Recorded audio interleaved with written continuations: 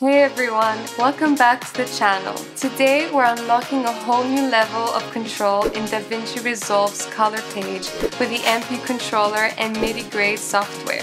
If you've been searching for a way to speed up your workflow and make your color grading more intuitive, you're in the right place. MIDIGrade is an incredible tool that takes MIDI messages and translates them into precise mouse movements giving you hands-on control over key color grading parameters, all from your MP controller.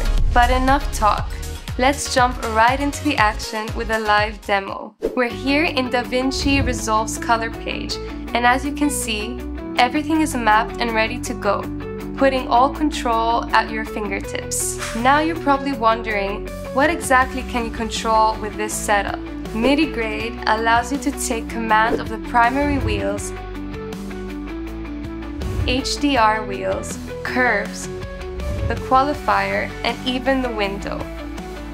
And if that wasn't enough, on page 4 of the MIDI app, you can even tweak Dolby Vision parameters, although we won't dive into that in today's video. One of the standout features is the Shift button. When activated, it lets you adjust parameters up to 10 times faster than normal. So if you need to make large adjustments, like a big exposure change, you can simply press the shift button and zip through the adjustments in no time. This feature is especially helpful when grading multiple shots and looking to speed up your overall workflow. And that's a wrap for today. If you're ready to bring more hands-on control to your color grading process, be sure to check out the MP controller on our website. We'd love to hear what you think in the comments below.